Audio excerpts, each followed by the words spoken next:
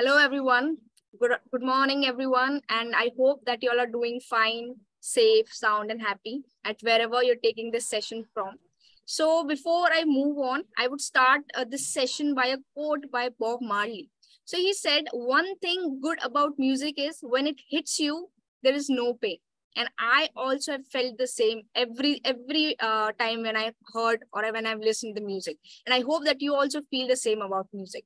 And if you do then i heartily and sincerely welcome you in the today's webinar that is employment in, of music in entertainment industry. And i hope that you're as excited as intrigued as i am to attend this session and to learn from our experts here so before we move on and learn all uh, the that we can have in the music industry, basically in the entertainment industry, basically. So we have our experts here with us, and I shall introduce all the experts here. So we have first Ustad Arshad Ali Khan sir. He's, he's an eminent vocalist of Kirana Gharana and his teacher at ITC Research Academy, Kolkata. And soon we will be joining by Mr. Indrajit Singh, who is a singer and a music composer and producer as well. And after that, we have our uh, faculties here, Dr. Mukesh Kumar, who has who is a professor and dean of journalism, mass communication, films and television, theater and music, School of Liberal Arts and Creative Arts. And he himself is a well-known face of Indian television, having more than 34 years of experience in media and has guided himself to achieve success at every front of life. And next we have Dr. Smriti Bhardwaj ma'am. She is also head of Department of Performing Arts and she also has a great passion for theater. And she has conducted over 200 theater-based workshops for people uh, from diverse backgrounds. And at last but not the least, we have Dr. Pratibha Sharma ma'am. She's an associate professor and uh, uh, from Department of Theater and Music. And she herself is very passionate about music. So we are all excited and it is a pleasure for us to be able to listen you all in the session, ma'am. And with this, I would now uh, like to uh, request Pratibha ma'am to please take over the screen and start with the session, ma'am. Uh, thank you, Himanshi. Uh, सबसे पहले मैं उस्ताद अरशद अली खान साहब का तहे दिल से स्वागत करती हूँ कि उन्होंने अपना कीमती वक्त हमारे लिए निकाला हमें दिया और साथ ही में हमारी यूनिवर्सिटी के डिपार्टमेंट ऑफ़ परफॉर्मिंग आर्ट्स के जो हमारे एच ओ सर हैं डॉक्टर मुकेश कुमार जी उनका भी इस मीटिंग में स्वागत करती हूँ। और हमारी हेड डॉक्टर स्मृति भारद्वाज उनका भी स्वागत करती हूँ। तो खान साहब आज के इस बैठक का जो उद्देश्य है वो केवल यही है कि आज के समय में जो संगीत के विद्यार्थी हैं उनको शास्त्रीय संगीत की या सुगम संगीत की शिक्षा जो है वो औपचारिक तौर पर दी जा रही है विभाग में। पर साथ ही कभी कभी क्योंकि हमारा जो विषय है ये जितना ज़्यादा मनोरंजक है उतना ही कठिन भी है। जी जी। अगर साधना रुक गई तो इसमें आपकी तरक्की कतई नहीं हो सकती। एकदम सही है और अध्ययनरत बच्चे कभी कभी उदासीन हो जाते हैं। किसी दिन दो दो चार दिन रियाज नहीं किया थोड़ा बेसुरू हुए तो उदासीन हो गए कि अब क्या। या कभी कभी प्रैक्टिस करते हुए भी इस चीज़ को लेकर चिंतित हो जाते हैं कि हमारा भविष्य क्या होगा अगर नौकरी ना मिले क्योंकि नौकरियाँ और विषयों के मुकाबले हमारे विषय में थोड़ी कम होती है। लेकिन साथ ही मुझे बेहद खुशी है ये कहते हुए कि पिछले कुछ वर्षों में या अंदाजन दशक में ये देखा गया है कि बहुत से प्लेटफॉर्म सामने आए हैं। और इन्हीं सब संभावनाओं के विषय में हम आपसे चर्चा करना चाहते हैं ताकि हमारे जो विद्यार्थी हैं वो प्रेरित हों और भविष्य के लिए जो है वो उनको एक सकारात्मक दिशा मिले। इसी के लिए हम आपसे मार्गदर्शन चाहते हैं। जी जी। सबसे पहले तो मैं आपका बहुत शुक्रगुजार हूँ कि आपने मुझे यहाँ आमंत्रित किया कि जो मेरा थोड़ा बहुत एक्सपीरियंस है जो वो मैं आप लोगों के साथ में शेयर कर सकूँ। और मैं माफ़ी चाहता हूँ अगर कुछ इधर उधर हो जाए बोलने में तो प्लीज़ आप करेक्ट कर दीजिएगा क्योंकि वो हो ही सकता है। तो मुझे ऐसा लगता है जैसे आपने फरमाया अभी कि पहले पहले जिस तरीके से सीखना होता था और उसके बाद में उसको परफॉर्म करना होता था जैसे कि हम बुज़ुर्गों से, हमारे उस्तादों से सुनते हैं। हमारे उस्ताद जी से हमने सुना कि भाई बहुत बहुत साल इंसान रियाज करता था और बहुत बहुत महीने मतलब एक प्रोग्राम के लिए कई महीनों वेट करना पड़ता था और उसके लिए रियाज करना पड़ता था और फिर जाके उसमें गाना पड़ता था और उसकी लोगों की वाह वाह लेनी पड़ती थी और मिलती थी। लेकिन अभी थोड़ा सा टाइम मतलब काफ़ी हम लोग एडवांस टाइम में भी हैं। तो काफ़ी चीज़ें चेंज हो गई और काफ़ी इजी भी हो गया हमारे लिए। सीखना भी और परफॉर्म करना भी और उसमें जैसे आप आप लोग ज़रूर जानते होंगे कि पहले कलाकार कितनी मशक्क़त से जाते थे कहीं परफॉर्म करने के लिए। लेकिन आज हमारे पास में इतनी सुविधाएँ हैं कि जो छोटे से छोटा भी कलाकार होगा, जिनका बहुत ज़्यादा एकदम अपकमिंग होगा जिनका मैं छोटा नहीं कहूँगा सॉरी लेकिन जो अपकमिंग होगा, कि जो अभी सीख रहा है और कहीं परफॉर्म करने के लिए जाएगा तो वो ज़रूर फ़्लाइट का उसको वो फ़्लाइट में जाएगा, अच्छी जगह ठहरने की सुविधा होगी। इन तरीके की चीज़ें होंगी जो पहले नहीं थी, है ना? तो इसी तरीके से फिर ये अभी जो ऑनलाइन एक चीज़ आ गई तो उसमें भी काफ़ी हमें सीखने के लिए या म्यूज़िक का जो प्रचार करने के लिए वो काफ़ी सुविधाएँ हो गई। काफ़ी उसमें फ़र्क आ गया। तो और सीखने के लिए भी अभी काफ़ी सारी चीज़ें जैसे हम गुरु के पास में तो सीखना सबसे पहले ज़रूरी है ही गुरु के पास में। फिर उसके बाद में जैसे गुरु बता देंगे भाई सुना भी करो थोड़ा सा है ना? क्योंकि सुनना भी बहुत ज़रूरी होता है। सिर्फ़ सीखने से या रियाज करने से नहीं होता। जब तक जब तक आप सुनेंगे नहीं है ना? तो उसमें आ, मुझे ऐसा लगता है कि जितना सीखना ज़रूरी है सीखने के बाद में जितना रियाज करना ज़रूरी है उतना सुनना भी ज़रूरी है। है ना? एक खुद के डेवलपमेंट के लिए एक खुद की तरक्की के लिए सुनना भी उतना इम्पोर्टेंट है। तो अभी हमारे पास में बहुत सारी सुविधाएँ आ चुकी हैं जैसे यूट्यूब है कि अगर हम यमन भी राग पे अगर चर्चा करें या सोचें कि भाई क्या यमन में क्या यमन किस तरीके से है तो हमें कम से कम पचास साठ रिकॉर्डिंग वगैरह तो मिल ही जाएँगी सुनने के लिए। तो वो एक तरक्की करने के लिए या आगे बढ़ने के लिए मुझे ऐसा लगता है कि काफ़ी उसमें सुविधाएँ हैं और आगे और ज़्यादा सुविधाएँ आ जाएँगी।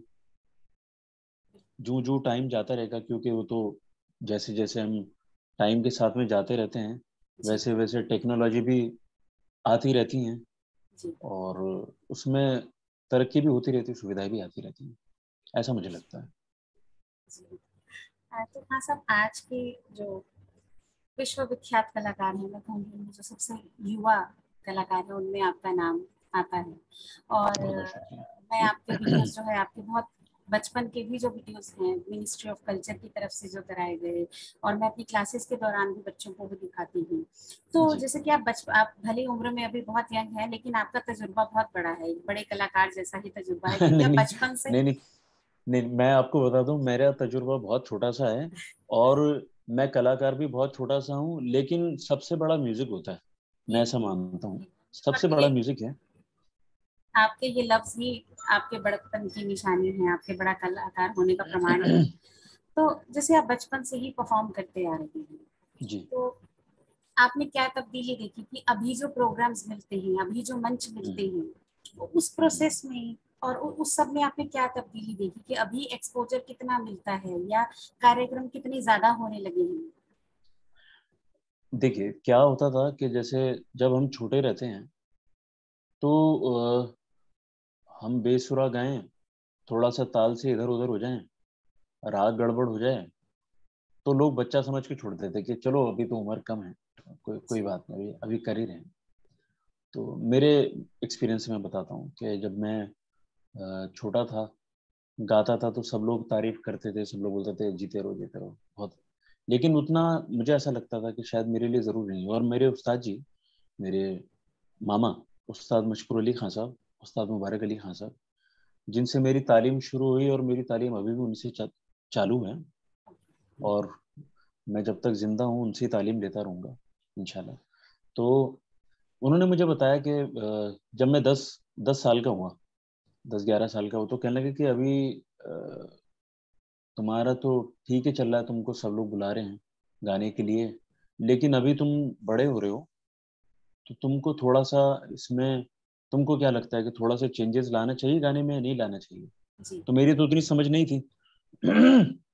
तो मैंने कहा कि मामा मुझे तो उतना मालूम नहीं आप आप बताइए। तो कहने लगे कि अभी तुम छोटे हो तो लोग तुमको एक्सेप्ट कर रहे हैं ठीक है? अभी लेकिन इतना काफ़ी नहीं है। अभी तुम बारह पंद्रह साल के या बीस साल के जब हो जाओगे तो ये गाना गाओगे तो लोग एक्सेप्ट नहीं करेंगे तुमको। और ज़रूर तुमको लात मार के भगा देंगे। मतलब ऐसे उन्होंने बताया। तो मैंने कहा क्या करूँ?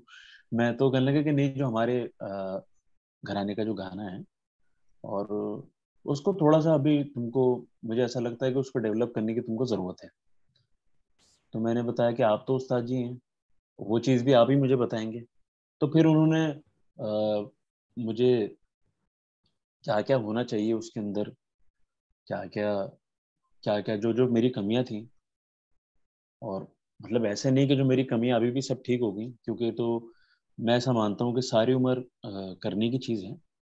तो उस पर मैंने थोड़ा सा ध्यान दिया और मेरे उस्ताद जी ने मुझे करवाया। तो अल्लाह का कर्म है कि वो चीज़ें बैठी। और मुझे फिर फ़र्क पता चला कि नहीं उनके कहने का हम, मतलब क्या था? फिर जो जो थोड़ा सा और एज हुआ मैं पंद्रह सोलह साल का हुआ और सत्रह साल का हुआ अठारह तो वो समझ थोड़ी सी मेरी डेवलप हुई और उस चीज़ को मैंने देखा कि नहीं नहीं वो जो पहले जो था वो तो ठीक ही था लेकिन अभी थोड़ा सा इससे आगे बढ़ने की ज़रूरत है और क्या क्या इसमें होना चाहिए। तो उस हिसाब से डेवलपमेंट हुआ और अभी भी अभी भी हो रहा है क्योंकि मैं अभी भी उनसे मालूम करता रहता हूँ अभी भी उनके पास में सीखता हूँ क्योंकि जो जो एज जाती रहती है तो उसमें और क्या क्या चीज़ें होनी चाहिए। जब तक हम डिस्कशन नहीं करेंगे या जब तक हम उनसे मालूम नहीं करेंगे तो वो चीज़ें ठीक नहीं होंगी असल में। डॉक्टर प्रतिभा बहुत हर पाँच साल में हर पाँच साल। में जी। सॉरी जी सॉरी इंटरप्ट कर रहा हूँ मैं। मैं यही कह रहा था कि बड़ी इंटरेस्टिंग बात की है कि आ, सीखना और एक सिखाने वाला सही मार्गदर्शक सही गुरु होना बिल्कुल बहुत ज़रूरी है। नहीं तो आपको आपको मंजिल नहीं मिल सकती है। तो इसलिए ये बड़ा ज़रूरी हो जाता है कि आप एकदम सही। ऐसे गुरु का ऐसी जगह का चयन करें जहाँ से आपको सही ट्रेनिंग मिले। ऐसे स्कूल ऐसे इंस्टीट्यूट ऐसी यूनिवर्सिटीज जहाँ पर अच्छी फैकल्टी हो या ऐसी जगहों को चुनना पड़ता है। एकदम तब आपका रास्ता आगे की तरफ़ निकलता जाता है।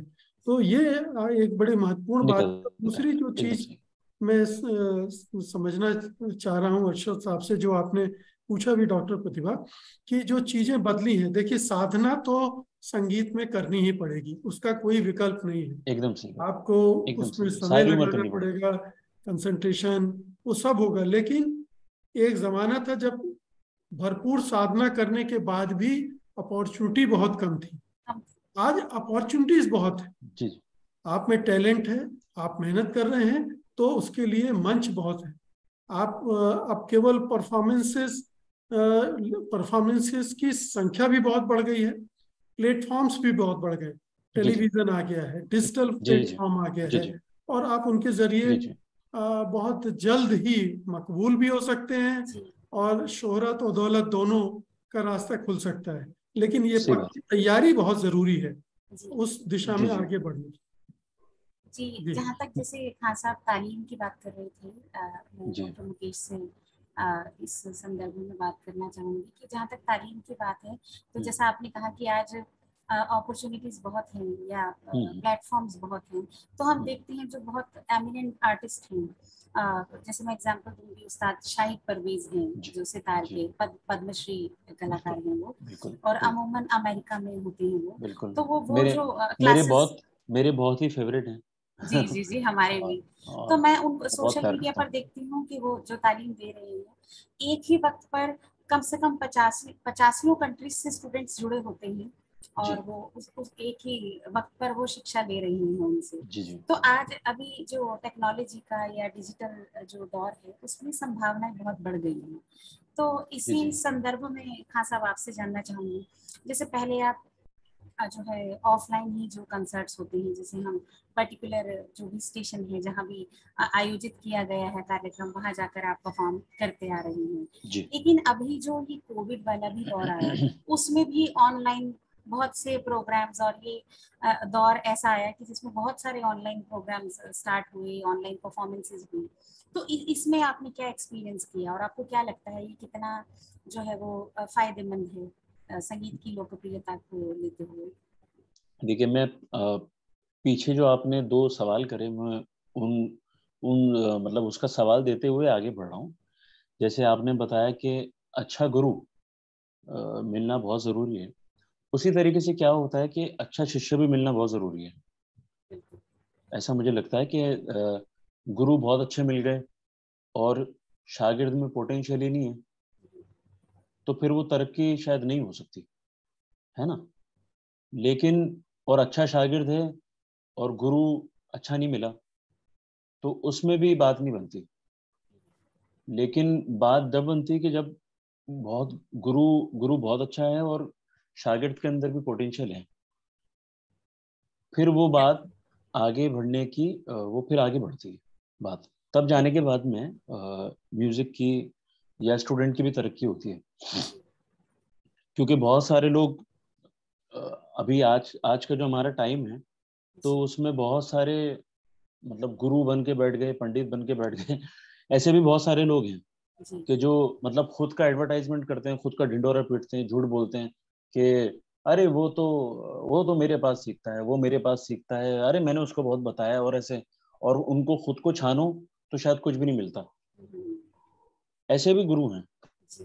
हाँ तो अच्छा गुरु मिलना आ, मुझे मुझे ऐसा लगता है कि सब जब तक ऊपर वाले की मर्ज़ी नहीं होती हमारी म्यूज़िक में तो जब तक बात नहीं बनती क्योंकि वो किस्मत से अच्छा गुरु मिलता है और किस्मत से ही अच्छा शागिर्द मिलता है। तब जाके तरक्की होती है गाने बजाने की।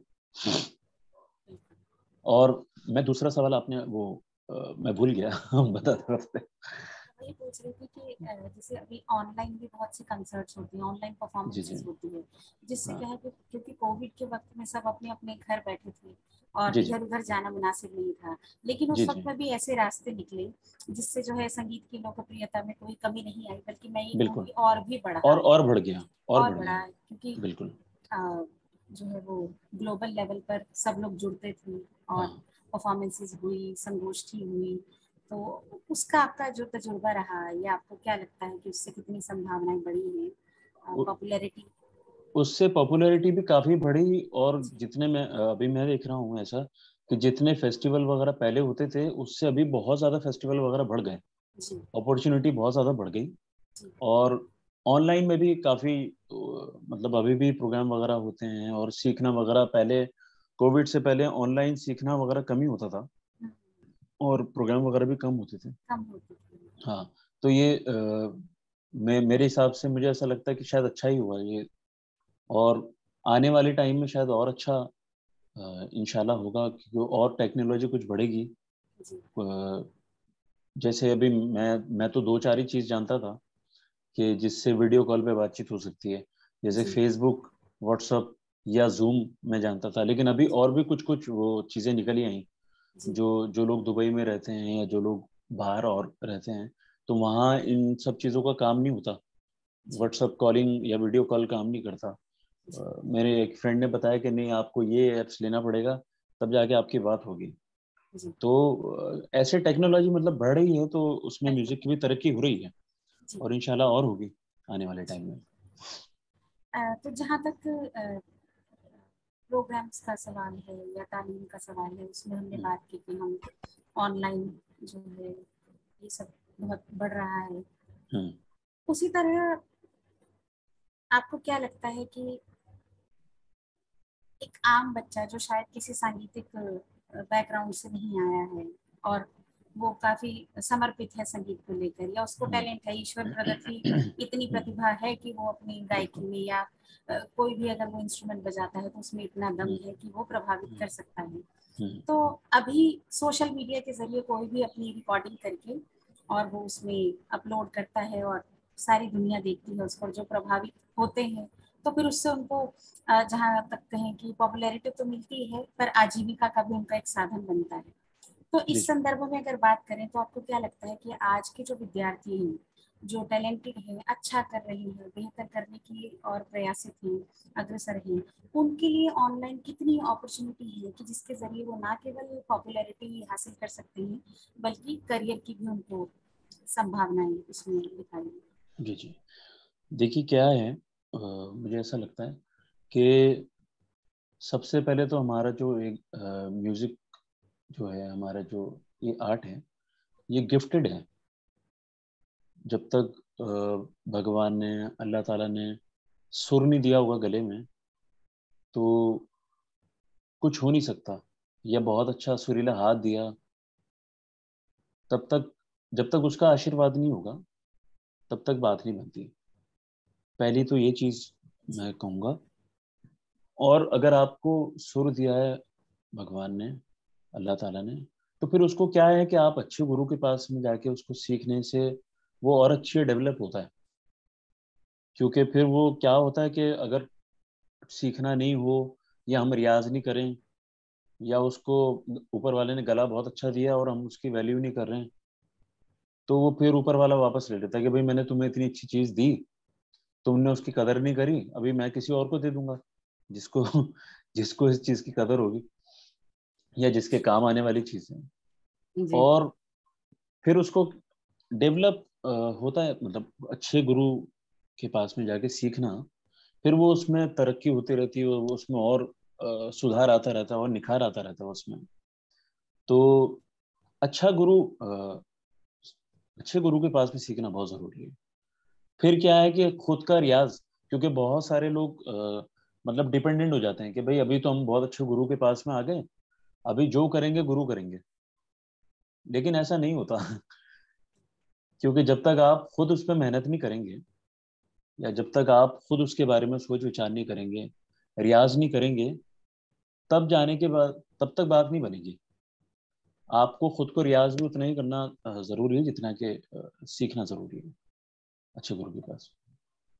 जी हाँ सब नमस्कार। मैं भी नेक्स्ट में आपसे बात करना चाहूँगी। एक संगीत के विभागाध्यक्ष होने के नाते यहाँ लवली प्रोफेशनल यूनिवर्सिटी में हमारी कोशिश यही रहती है वैसे तो हम संगीत में मानते हैं कि गुरु शिष्य परंपरा सर्वोपरि है लेकिन बहुत सारे स्टूडेंट्स बहुत सारे गुरु आजकल जो टेक्निकल एडवांसमेंट है उससे अच्छा ये हम्म। हुआ है कोविड के दौरान भी जहाँ हम शुरू में बहुत आ, बहुत लोगों ने हताश भी महसूस किया होगा कि किस तरह से अब कनेक्शन बनाया जाए तो टेक्निकल एडवांसमेंट ने हमारे लिए बहुत सारे रास्ते खोले और हम हमारे बच्चे और हम बहुत फॉर्चुनेट रहे कि दूर दराज बैठे हुए गुरु लोगों से हमें बातचीत करने का उन दिनों भी मौका मिला और फिर आज भी ये आज देखिए आप कोलकाता में हैं और हम यहाँ हैं और हम सुन पा रहे हैं आपसे और इस तरह हम, टे, हम टेक्नोलॉजी की ज़रिए से जुड़ गए जुड़ गए हैं और इसी तरह से हमारा एक कोशिश रही है कि एक बैलेंस बना के चले ट्रेडिशनल क्लासिकल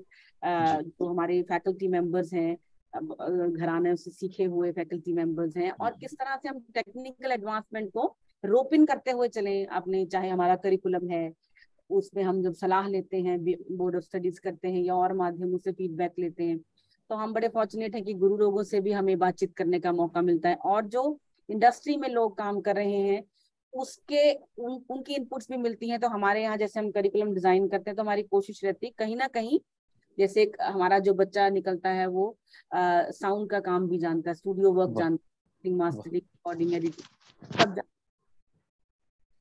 और किस तरह से हम बेहतर उनको एक परफॉर्मर बना सके गुरु लोग हमारे पास आते हैं और वो बच्चों से साझा करते हैं किस तरह वो तैयारी करें।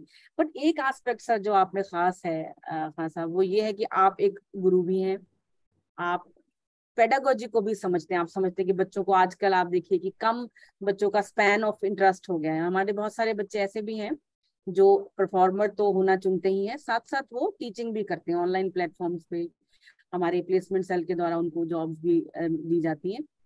तो वो क्या ऐसी अपनी क्वालिटी अपने आप में इनकलकेट अपने आप में डाल सकते हैं कि वो अच्छे टीचर भी बन सके आगे चल के? ये मैं आपसे जानना चाहूँगी ताकि हम उसका बेनिफिट अपने बच्चों को दे सकें। जी देखिए मैं आपको सबसे पहले बताऊँ कि मैं कोई उस्ताद या गुरु नहीं हूँ मैं तो एक म्यूज़िक का स्टूडेंट हूँ और क्योंकि स्टूडेंट जब तक हम रहते हैं या हम अपने आप को सोचते हैं तो काफ़ी चीज़ें हमें सारी उम्र सीखने को मिलती हैं या हम उससे सीख सकते हैं। क्योंकि गुरु हो गए उस्ताद हो गए या पंडित हो गए तो उसके बाद तो चीज़ें खत्म हो गई सब। तो कुछ सीख नहीं सकते। क्या है कि अच्छा सीखना और उस पर रियाज करना। क्योंकि म्यूजिशियन की एक जो लाइफ होती है सिर्फ़ सीखना या उस पर रियाज करना नहीं होता। सिर्फ़ इतना उसके लिए आ, काफ़ी नहीं होता। क्योंकि जब तक आप सारी उम्र उस पर या हर टाइम उस पर रिसर्च वगैरह नहीं करेंगे तो तब तक जाने के बाद में बात बनेगी ऐसा मुझे लगता है। कि हम, हमने गुरु के पास में हम गए सुबह। हमने एक राग, उनसे एक घंटा या दो घंटा सीखा। फिर उसके बाद में उस पर रियाज वगैरह करा और फिर सुनना। सुनना एक बहुत इम्पोर्टेंट एक चीज़ है। फिर सीन उसे सुनने के बाद में फिर उस पर थोड़ा सा रिसर्च करना कि भाई उसमें क्या होना चाहिए, क्या नहीं होना चाहिए, कितना होना चाहिए, कितना नहीं होना चाहिए। तो इस तरीके से एक म्यूजिशियन का जो लाइफ रहता है ना वो ऐसे मुझे लगता है कि शायद ऐसे चलना चाहिए। क्योंकि सिर्फ़ सीखना और रियाज करने से बात नहीं बनती। जब तक आप उस पर सोच विचार नहीं करेंगे उस पर रिसर्च नहीं करेंगे उससे उसको शेयर नहीं करेंगे। क्योंकि ये इम्पोर्टेंट बात है सर उस पर क्योंकि जो सीखना जो सिखाना जो होता है उससे भी इंसान बहुत कुछ सीखता है। जी। हो सकता है कि जिसको हम सिखा रहे हैं स्टूडेंट उसके अंदर ऊपर वाले ने इतनी काबिलियत दे रखी हो क्योंकि भगवान ने अल्लाह ताला ने किसी किसी को बहुत कुछ दे के भेजता है। तो तो हो सकता है कि हम दो चीज़ें उनसे भी सीख सकें हम सीख सकें। बहुत इम्पोर्टेंट बात है क्योंकि सर गुरु होना तो चलो ये बात आपकी बिल्कुल सही है कि ये तो बहुत ऊपर वाले की वही होती है बख्शी होती है जो होता है। आज ऑनलाइन प्लेटफॉर्म पे टीचिंग अपॉर्चुनिटीज़ हमारे स्टूडेंट्स को बहुत सारी मिलती हैं बहुत सारे लोग हैं सीखना चाहते हैं ओवरसीज और Indian classical music thanks to all the maestros and big artist that we have उसकी पॉपुलैरिटी उसकी ग्लोरी आज वर्ल्ड जानता है और मानता है। तो बहुत सारी अपॉर्चुनिटीज़ आती रहती है हमारे बच्चों के लिए कि वो ऑनलाइन टीचिंग करें। जी जी। तो उस उसमें सर कितना फ़र्क रहता है? आप जैसे हम लोग तो सीखे हैं जैसे भी आमने सामने बैठकर गुरु से तो ऑनलाइन टीचिंग प्लेटफॉर्म्स को आप किस तरह से देखते हैं सर? देखिए ऑनलाइन भी सीखना सीखना ही है मेरे मेरे हिसाब से। बहुत सारे लोग ऐसे सोचते हैं कि नहीं सामने से सीखने में बहुत जल्दी डेवलपमेंट हो सकता है लेकिन मेरे पास में कुछ कुछ मेरे स्टूडेंट वगैरह हैं, जिन लोगों की सिर्फ़ ऑनलाइन मेरे से तालीम हुई और वो माशाल्लाह बहुत अच्छा गाना बजाना कर रहे हैं। ऐसे भी कुछ स्टूडेंट हैं। और वो डॉक्टर हैं मतलब मेरे, मेरी जो एक स्टूडेंट है, उनके तीन पीढ़ी में वो लोग डॉक्टर हैं। हाँ उनके माँ बाप भी डॉक्टर हैं और उनके जो दादा, दादी जो थे, वो लोग भी डॉक्टर थे और वो खुद भी माशाल्लाह डॉक्टर हैं। तो लेकिन मतलब वो बेंगलोर में रहती है वो कलकत्ता मेरे पास में नहीं आ सकती। और रेगुलर तालीम तो वो रेगुलर मेरे पास में ऑनलाइन सीखती है, लेकिन उसका बहुत अच्छा डेवलपमेंट हो रहा है। तो गाना, तालीम वो चलता रहे मुझे ऐसा लगता है, तब जाने के बाद में वो तरक्की होगी। मतलब सामने से बैठ के होगी, ऐसा मैं नहीं मैं नहीं मानता। ये बहुत इनकरेजिंग बात सर आप कह रहे हैं क्योंकि टेक्नोलॉजी तो ये ऐसी चीज़ है पहले मोबाइल फोन्स भी लोग सोचते थे एयर कंडीशंस को सोचते थे कि जी जी इस्तेमाल करें हम बचे रहें वो बेहतर है लेकिन अल्टीमेटली हम्म। जैसे जैसे दुनिया चलेगी संगीत को भी चलना है इस क्षेत्र को भी चलना है और आज जो जो शिक्षण संस्थान है उनका भी दायित्व हो गया है एक तरह से कि न सिर्फ़ एक क्वालिटी तालीम देना ट्रेनिंग देना बल्कि उनको आत्मनिर्भर करना ताकि वो इस फ़ील्ड में रह सके।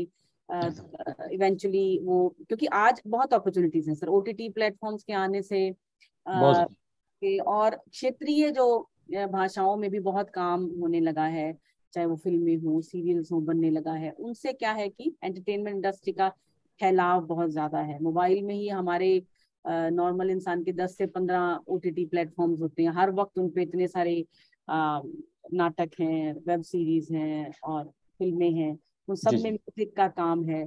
तो एक बहुत पॉजिटिव एक सिनेरियो देखते हैं हम जहाँ तक एम्प्लॉयमेंट पोटेंशियल की बात है म्यूज़िक या थिएटर में। जी जी।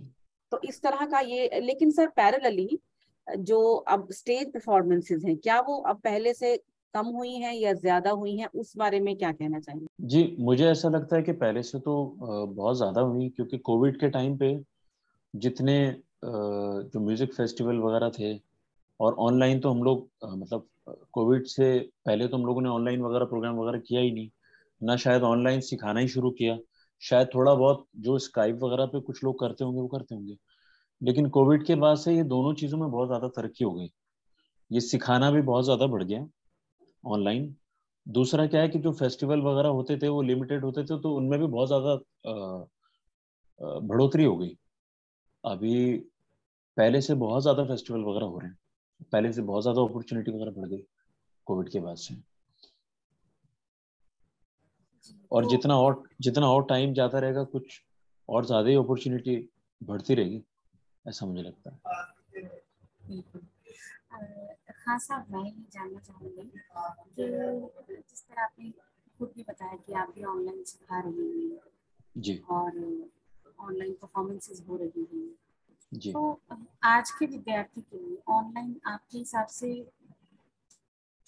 ना केवल परफॉर्मेंस के संदर्भ में बात कर रही हूँ बल्कि आजीविका के लिए अर्निंग जैसे यूट्यूब है। यूट्यूब पर हम्म, हम्म। जिनके चैनल्स पर फॉलोअर्स बढ़ गए हैं व्यूज़ बढ़ते हैं तो उनको उससे जो है अर्निंग होती है। हम्म। उसी तरह से अमेजोन म्यूज़िक है स्पॉटिफाई है इस तरह के बहुत से प्लेटफॉर्म्स हैं जिस पर अगर गानों को फॉलोअर्स ज़्यादा मिल रहे हैं व्यूज़ ज़्यादा हो रहे हैं तो उनको स्कोरिंग के हिसाब से उनको अर्निंग होती है। जी जी। तो इस दिशा में आपका मतलब आप किस नज़रिए से देखते हैं इस चीज़ को? देखिए इस ये तो बहुत एक कलाकार के लिए बहुत इम्पोर्टेंट चीज़ है कि अर्निंग भी उसका चलता रहे। और ये बहुत अच्छी बहुत अच्छा मुझे ऐसा लगता है कि अपॉर्चुनिटी है अभी के टाइम में हम म्यूजिशियन लोगों के लिए कि भाई हमारा उसमें स्पॉटिफाई में जाए म्यूज़िक अमेजन में जाए या जो यूट्यूब में जो मोनिटाइज हो जाता है चैनल उससे भी काफ़ी काफ़ी लोग अर्निंग वगैरह करते हैं। काफ़ी उन लोगों को फ़ायदा होता है। बहुत अच्छी चीज़ है और मुझे ऐसा लग रहा है कि अर्निंग तो हो ही रहा है, कलाकार को हेल्प भी हो रहा है, सब कुछ हो रहा है और म्यूज़िक भी बढ़ रहा है उसमें। इनकरेजमेंट भी होती है। इनकरेजमेंट भी हो रहा है। हाँ अभी मतलब स्पॉटिफाई के ज़रिए यूट्यूब के ज़रिए अमेजन के ज़रिए मतलब लोगों के पास में दूर दूर तक गाना बजाना जा रहा है म्यूज़िक दूर दूर तक जा रहा है। तो वो बढ़ ही रहा है वो कम नहीं हो रहा है। जी जी। और जैसे कि बहुत पहले की अगर बात करें तो अगर घराना परंपरा की ही बात करें तो बहुत सीखना सीखना बड़ा मुश्किल था। एक जो घरानेदार लोग हैं या उन फैमिलीज़ में तो पीढ़ी दर पीढ़ी चला आ रहा था। लेकिन एक आम परिवारों से जो बच्चे थे उनके लिए सीखना बड़ा मुश्किल था। गुरु हम्म। आसानी से समय नहीं देते थे आसानी हम्म। से राज़ी नहीं होते थे सिखाने के लिए।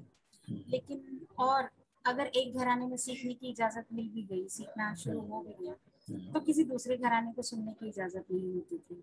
जिसमें शायद कई बार क्योंकि मैंने बहुत जैसे बुज़ुर्ग लोगों के जो इंटरव्यूज़ लिए धोंडू ताई कुलकर्णी। गंगूबाई हंगल इन लोगों से सुना कि हम चाहते थे कि फला सम्मेलन में जाएँ और उनको भी सुने उनको भी सुने। फयाज खान साहब आ रहे हैं वो आ रहे हैं। लेकिन हमारे घराने में इजाज़त नहीं थी कि अगर वो घराने का गाना सुना तो तुम पर उसका असर हो जाएगा।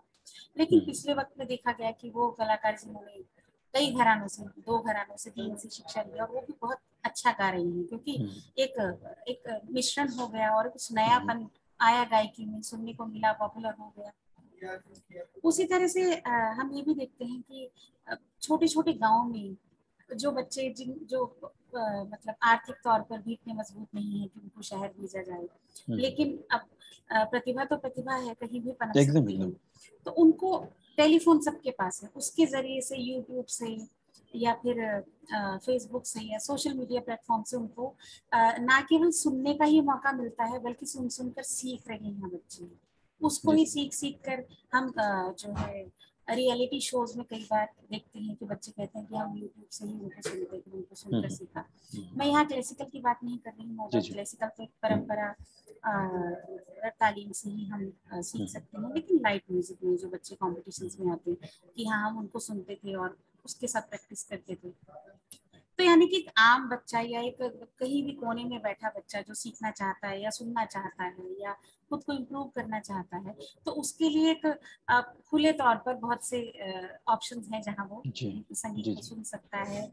सुनकर अगर उसे लगा कि उसने अच्छा आ, कोई एक गाना ही बहुत अच्छा तैयार कर लिया हम्म। तो उसके पास वहीं बैठे अपनी कमरे से वो वीडियो अपलोड करके दुनिया के सामने ला सकता है और और बहुत से ऐसे बच्चों को पॉपुलैरिटी भी मिल जाती है छोटे छोटे बच्चों को भी हम्म। या जो हमारे यंग जनरेशन है हम्म।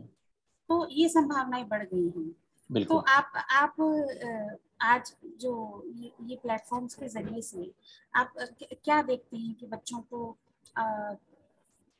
इस, इसके ज़रिए से कितना ज़्यादा फ़ायदा होगा? देखिए क्या है कि जैसे आपने अभी फरमाया ना इस चीज़ को मैं भी मानता हूँ कि जो प्रतिभा रहती है जो टैलेंट रहता है वो किसी भी कोने में रहे देश के वो ज़रूर निकल कर आता है क्योंकि उसको ऊपर वाले ने दिया है वो टैलेंट। क्योंकि टैलेंट जो रहता है वो दस दस लोगों में से किसी एक ही के पास में रहता है सबके पास में नहीं रहता। जैसे मैंने पहले भी बताया कि ऊपर वाले का जब तक आशीर्वाद नहीं होता, क्योंकि गिफ्टेड कला है ये, सबको नहीं मिलती। पंद्रह में से बीस लोगों में से किसी एक ही को मिलेगी। तो वो छुपती भी नहीं। जिस भी कोने में हो, वो कहीं ना कहीं से निकल कर ज़रूर आता है। इसमें कोई शक नहीं। लेकिन क्या है कि क्लासिकल का जो एक सीखना रहता है ना तो वो मैं इसलिए इम्पोर्टेंट उसको बोलता हूँ क्लासिकल को सीखने के लिए। उसमें आप लाइट गाने वाले अभी मतलब मैं ऐसा सुनता रहता हूँ कि इतना अच्छा अच्छा टैलेंट मतलब वो सारे गामा पा में लोग गाते रहते हैं और इंडियन आइडल में गाते रहते हैं कि उन सीखा हुआ नहीं है लेकिन मतलब बहुत उनका गला बहुत तैयार है रेंज इतना अच्छा रहता है। है ना? लेकिन क्लासिकल सीखने से क्या रहता है कि उसमें और जरा सा पुख, पुख्ता हो जाता है वो। क्योंकि बहुत सारे लोगों को मतलब वो गा रहे बहुत अच्छा है क्योंकि वो सिर्फ़ वो फॉलो करके गा रहे हैं। जो उन्होंने यूट्यूब में गाना सुना है वो किसी भी कलाकार का हो कोई फ़िल्म में गाना हो तो बस उसको वो सुनने के बाद में वो वैसे ही गा रहे हैं। लेकिन उसमें क्या क्या और इम्प्रोवाइज वो कर सकते हैं वो जब तक क्लासिकल की तालीम नहीं होगी तो वो कर नहीं पाएँगे उसको। तो क्लासिकल सीखना इसलिए मैं इम्पोर्टेंट बोलता हूँ कि उसकी थोड़ी सी समझ होनी ज़रूरी है उसकी तालीम होनी बहुत ज़रूरी है तब जाके वो पूरा एकदम पुख्ता हो जाता है वो कि कहीं भी उसमें कोई कमी नहीं रहती। सर यहाँ मैं मैं भी एक बात ऐड करना चाहूँगी कि जैसे आपने ये तो गिफ्टेड कला है। हमारे यहाँ भी हम देखते हैं और एक क्वेश्चन आंसर में भी एक क्वेश्चन पूछा है कि अगर किसी को इंटरेस्ट है म्यूज़िक में लेकिन म्यूज़िक आता नहीं है तो वो क्या कुछ एंटरटेनमेंट इंडस्ट्री में कर सकते हैं? अब ये बच्चा जो पूछना चाह रहा है जैसा मैं समझ पा रही हूँ कि हमारे यहाँ बहुत सारे स्टूडेंट्स आते हैं। संगीत की समझ भी होती है शौक भी होता है और यहाँ पे तालीम भी मिलती लेकिन वो वोकल्स में एज एज अ सिंगर बहुत अच्छा नहीं कर पाते या उनको उस चीज़ लेकिन संगीत की समझ होती है। तो हमारे यहाँ हम जैसे कंपोजिशन का भी पैरेलली हमारे यहाँ चलता है कंपोज करते हैं बच्चे। उसके अलावा स्टूडियो के कोर्सेज स्टूडियो वर्क के कोर्सेज हम पैरेलली चलाते हैं ताकि जब बच्चा यहाँ से आया और डिग्री ले रहा है बच्चा चार साल सीख रहा है क्योंकि इतना टैलेंट है वर्ल्ड में वोकल्स में हो सकता एक वही एक रास्ता न रह जाए उन बच्चों के लिए। क्योंकि अल्टीमेटली जीवन में या जो भी इंस्टीट्यूशन में बच्चे आते हैं या जो भी सीखना चाहते हैं अपने राइट ईयर्स में उसका आउटकम तो यही होना चाहिए कि उनके उनके पास एक करियर ऑप्शन हो। एकदम एकदम। और वो ऐसे फ़ील्ड में हो जो जो जो उनको पसंद है जो उनका इंटरेस्ट है। बिल्कुल। उनको इतना ज़्यादा गिफ्ट ना भी हो लेकिन जो समझ है म्यूज़िक की या जो तालीम उन्होंने ली है वो वोकल के अलावा बहुत सारे और तरीके से वो इस्तेमाल कर सकते हैं म्यूज़िक में और स्टूडियो वर्क में जो कि काफ़ी फाइनेंशियली रिवार्डिंग भी है। जी जी जी जी। तो तरह की आ, कोशिश भी रहती है। उन बच्चों के लिए आप क्या क्या संदेश देना चाहेंगे सर कि जो बच्चे इंटरेस्ट रखते हैं पैशनेट भी हैं मेहनत भी कर रहे हैं पर उनका बहुत ज़्यादा वोकल वोकलिस्ट के तौर पे बहुत ज़्यादा नहीं है उनका लेकिन समझ है उनको संगीत की और तालीम भी है देखिए क्या है कि मुझे ऐसा लगता है कि अगर आपको शौक है और आपका इंटरेस्ट है और ऊपर वाले ने आपको थोड़ा म्यूज़िक थोड़ा सुर दिया है तो वो करने से ज़रूर होगा। ये तो आप उसमें कितना टाइम देते हैं और आप उसको कितना सीरियसली लेते हैं। क्योंकि अगर हमारी खुद से हमारा जो रहता है ना कि खुद से हमारी अपेक्षा क्या है कि भाई हमको दस लोगों में हम लोगों को मुझे अच्छा गाना है। कोई मेरे दस दस कलाकार हैं, उनमें मुझे सबसे अच्छा होना है।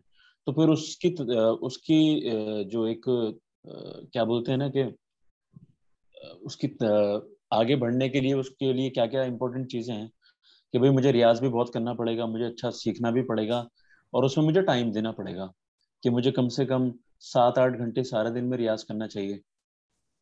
लेकिन अगर आपके पास में इतना इतना सुविधा नहीं कि, क्योंकि सबके पास में तो सब चीज़, सब तरीके की सुविधाएँ नहीं रहती कि भाई पढ़ाई भी है और हम उतना टाइम नहीं दे सकते। तो वो थोड़ा आप उसमें, आप थोड़ा रियाज कर सकते हो, थोड़ा सीख सकते हो। तो लेकिन बहुत अच्छे मतलब ऐसे लेवल पे जाना, उसके लिए फिर हमें अपेक्षा नहीं करनी चाहिए। वो एक चीज़ रहती है। कि खुद से हमारी जो एक वो है ना अपेक्षा कि वो क्या है? हमें दस में अच्छा गाना है बीस में अच्छा गाना है या हमें इंडिया में नंबर वन होना है गाने सबसे अव्वल में होना है तो उसके लिए क्या क्या चीज़ें ज़रूरी हैं? तो वो मुझे ऐसा लगता है कि वो चीज़ें देखनी चाहिए। बात कही सर। खुद से क्या उम्मीद है आपकी? खुद से खुद से क्या उम्मीद है? और खुद से क्या उम्मीद है? क्योंकि अगर अगर अच्छा म्यूजिशियन बनना है, या हम चाहते हैं कि नहीं हमारा हम दस लोगों में अच्छे हों या बीस लोगों में अच्छे हों तो फिर हमें उस तरीके से हमें उसका उस रियाज वगैरह करना पड़ेगा, सीखना पड़ेगा, उसमें टाइम देना पड़ेगा। लेकिन अगर कुछ मजबूरी है कि भाई हम इतना टाइम नहीं दे सकते तो फिर तो मैं मतलब किसी अच्छे लेवल पे पहुँचना, मेरे मेरे फिर मैं शौक के लिए कर रहा हूँ उसको, कि भाई मैं थोड़ा सा पढ़ाई भी कर लूँ और थोड़ा सा मेरा अर्निंग वगैरह भी हो जाए मैं एक नौकरी भी कर लूँ और थोड़ा सा मुझे म्यूज़िक से भी प्यार है मैं थोड़ा सा म्यूज़िक भी कर लूँ। जी ये इस बात के संदर्भ में मैं अपने स्टूडेंट्स यूनिवर्सिटी के उनसे भी कहना चाहूँगी कि बहुत सारे बच्चे बहुत अच्छा करते हैं इवेंचुअली हम्म। हम्म, और हम्म। पर भूख उतनी ही होती है कि मैं अपनी क्लास में बहुत मैं डिपार्टमेंट में लेकिन दुनिया बहुत बड़ी है और दौड़ आगे तक और मैं मुझे मुझे ऐसा लगता है कि अगर इंसान चाहे तो कर सकता है। क्योंकि बहुत सारे लोग बोलते हैं ना कि नहीं, मुझे तो रियाज करने का टाइम नहीं मिलता। और मेरे ऊपर तो प्रेशर बहुत है और मैं तो सुबह सात बजे उठता हूँ। लेकिन आप सुबह सात बजे उठ के अगर आप काम पे लगते हैं या आपको टाइम नहीं मिलता तो आप थोड़ा पहले उठो और आप कर सकते हो। आप पाँच बजे उठो, दो घंटा अपना रियाज करो, बाकी के सब काम आप करो। क्योंकि सिर्फ़ रियाज और सीखना जो रहता है यही हमारे लिए रहता है। बाकी और सब चीज़ें औरों के लिए होती है। डॉक्टर प्रतिभा आप जी, हाँ? साहब आपकी इस बात से मैं ये चाहूँगी कि आपके दर्जे का कलाकार उसका रियाज का क्या शेड्यूल रहता है ताकि हमारे विद्यार्थी जो है वो प्रेरित हों इंस्पायर हों आपसे। आप बताएँ कि आपका रियाज का शेड्यूल क्या रहता है। देखिए मैंने पहले जो अभी से जो टाइम दस बन पंद्रह साल अगर मैं पहले चला जाऊँ पीछे तो सबसे असल में हमारे जो हम लोगों का जो नुकसान हुआ है ना सिर्फ़ मेरा नहीं मतलब हम सभी लोगों का ये जब से हमारी ज़िंदगी में फ़ोन आ गया तो उसकी वजह से हमारा बहुत बड़ा नुकसान हो गया रियाज में। क्यों क्योंकि वो जब तक मेरे पास में फ़ोन नहीं था मैं मैं आपको मेरा बताता हूँ कि मेरे पास में जब फ़ोन नहीं था तो मेरा खुद का रियाज कितना हुआ मुझे ध्यान नहीं। मैंने कभी घड़ी देख के रियाज नहीं किया। हो सकता है कि कम भी हुआ हो और ये भी हो सकता है कि ज़्यादा हुआ हो सारा दिन में। तो कभी घड़ी देख के मैंने रियाज नहीं किया। और अभी भी घड़ी सही रियाज होना बहुत ज़रूरी है ऐसा मुझे लगता है क्योंकि बहुत सारे लोग ऐसे होते हैं ना कि ग्यारह ग्यारह घंटे रियाज कर रहे हैं और फिर भी कुछ नहीं हो रहा है। दस घंटे भी लोग रियाज करते हैं। और तब जाने के बाद में भी जहाँ थे वहीं के वहीं हैं आज तक। ऐसे भी ऐसे भी हमारे कलाकार हैं है ना? क्योंकि रियाज बहुत किया लेकिन जहाँ थे वहीं के वहीं हैं। उसमें कुछ तरक्की नहीं हुई कुछ डेवलपमेंट नहीं हुआ। तो मेरे उस्ताद जी मेरे मामा ने मुझे एक बहुत अच्छी चीज़ कही थी वो मैं आपसे शेयर करता हूँ। उन्होंने मुझे ये बताया कि जब तक तुम्हारा दिमाग काम करे जब तक तुम रियाज करो वरना तो तानपुरा रख दो। और सही रियाज आधा घंटा भी बहुत अच्छा है। सही रियाज एक घंटा भी बहुत है। रियाज सही होना चाहिए। और अगर आप आधा घंटा भी रियाज में दे रहे हैं तो आपका ध्यान सिर्फ़ उसी में होना चाहिए गाने में। ये नहीं होना चाहिए कि मैं किसी आधा घंटा गा के किसी ऑर्गेनाइजर को पकड़ लूँ और मुझे दो प्रोग्राम मिल जाएँ। तो ये नहीं होना चाहिए। अगर मैं आधा घंटा हूँ तो सिर्फ़ मेरे रियाज में हूँ। तो वो वो बहुत इंपॉर्टेंट चीज़ है। बाकी तो सारा दिन में चार पाँच घंटा रियाज करना मुझे ऐसा लगता है कि शायद बहुत है। बहुत है। वो आपको ग्यारह घंटा, बारह घंटा रियाज करने की ज़रूरत नहीं। अगर आप सारा दिन में चार पाँच घंटा रियाज करते हैं और मन लगा के करते हैं तो बहुत है आपके लिए। शुक्रिया खान साहब बहुत बहुत शुक्रिया आपका। मैं माफ़ी चाहता हूँ अगर कुछ इधर उधर कुछ गड़बड़ हो गया तो क्योंकि जो जो थोड़ा बहुत मैं मेरे दिमाग में आया जो मैं आपसे शेयर कर पाया तो वो मैंने आपसे शेयर किया। बेसिकली हम हम चाहते थे कि बच्चों को आत्मनिर्भर कैसे बनाया जाए उसके बारे में आपसे मार्गदर्शन मिले आपके विचार हमसे साझा हुए और संगीत के क्षेत्र में जब तक आप रियाज नहीं करते अपने सुरों को पक्का नहीं करते और सांगीतिक तौर पर खुद को काबिल नहीं बनाते तो करियर की कोई संभावना हो ही नहीं सकती। और आपका डिवोशन आपका डेडिकेशन ना केवल आपकी गायकी से पता चलता है बल्कि आपके व्यक्तित्व में आपकी बातचीत में ज़ाहिर होता है। तो हमारे जो स्टूडेंट्स हैं वो निश्चित तौर पर आपसे जो है वो बहुत प्रभावित हुए हैं बहुत इंस्पायर हुए हैं और मुझे मैं ऐसा ऐसी उम्मीद रखती हूँ कि वो भी डेडिकेशन के साथ रियाज करेंगे जान डालने की कोशिश करेंगे। और हमारी आपसे एक और रिक्वेस्ट है कि हम आने वाले वक्त में आपकी एक वर्कशॉप कराना चाहेंगे मैं ज़रूर मैं ज़रूर हाजिर होऊँगा इंशाल्लाह। मैं ज़रूर आऊँगा। और मैं आपका बहुत शुक्रगुजार हूँ कि आपने मुझे इस काबिल समझा कि मैं आप लोगों के साथ में अपने गाने बजाने को अपने एक्सपीरियंस को थोड़ा बहुत मैं शेयर कर पाया। बहुत बहुत शुक्रिया। ये हमारा सौभाग्य था सर आपका बहुत बड़पन है तो एक बार फिर मैं अपने विभाग की ओर से आपका शुक्रिया अदा करती हूँ। और मैं हमारी विभाग अध्यक्षा डॉक्टर स्मृति भारद्वाज से निवेदन करती हूँ कि वो भी आपका धन्यवाद ज्ञापन करें। बहुत बहुत शुक्रिया।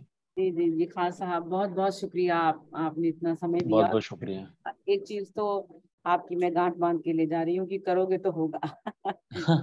हाँ नहीं बहुत जो जो मुझे लगता है वो, क्योंकि मैं मैं एक, आपको चीज़ चलते चलते बोलता चलूँ, क्योंकि मैं बहुत देर से उठता था।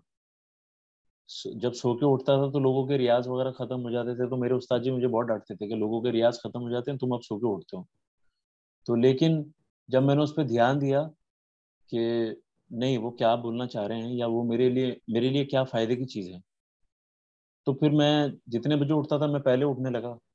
फिर अभी भी मुझे अगर कुछ काम होता है सुबह में मुझे अगर सात बजे भी जाना है तो मैं थोड़ा पहले उठ सकता हूँ कि भाई मैं थोड़ा अपना पहले थोड़ा रियाज वगैरह कर लूँ फिर अपने काम से लगूँ। तो सारी बातें सर आपकी उसमें आ, बड़ी इंस्पायरिंग भी लगी और बड़ी आ, एक एक तरह से फाउंडेशन है हमारी ट्रेनिंग की जैसे आपने कहा कि सही रियाज होना सही रियाज जी जी। तो चाहे आप एक घंटा करें दो घंटे करें अदरवाइज़ क्या होता है कि जो स्टूडेंट्स हैं वो सोचते हैं कि राइज तो वो लोग करते हैं जो सारा सारा दिन रियाज करते हैं पर सही रियाज होना ट्रेनिंग का महत्व आपकी और मोस्ट इम्पोर्टेंटली जो आपने कहा अपनी खुद से उम्मीद आपकी क्या है? खुद से खुद से उम्मीदें क्या हैं? अभी बहुत सारे लोग फ़ोन लेके रियाज करते हैं टीवी देख के रियाज करते हैं वो पता नहीं कैसे तरक्की इनकी होगी या कैसे तरक्की हो रही मालूम। तो हो जाते हैं। मैं क्लास में सबसे बताता हूँ बहुत है। हाँ, हाँ। उम्मीदें क्या हैं वो बहुत ज़रूरी है खासतौर पर उन बच्चों के लिए जो गिफ्टेड हैं। जी जी। वो ये समझ के कहीं इस बहुत अमूल्य निधि को ऐसे लुटा न दें ये बहुत इंस्पायरिंग था। और अगर बच्चे में उस तरह से टैलेंट है ट्रेनिंग है और पैशन है डेडिकेशन है तो आज का दौर बहुत बहुत आ, खुला है। आज का एकदम। एकदम। है बहुत एवेन्यूज खुले हैं। कहीं भी खत्म होने के बजाय मुझे लगता है वो एनर्जी अपनी ट्रेनिंग को सही करने में और अपने कला को और निखारने में लगाना चाहिए बच्चों। एकदम सही बात एकदम सही बात। बहुत बहुत शुक्रिया खास साहब आपके बहुत बहुत शुक्रिया। मैं भी आप मैं भी आपका बहुत शुक्रगुजार हूँ आपने याद किया। बहुत बहुत शुक्रिया खास साहब। बहुत बहुत शुक्रिया। जी जी।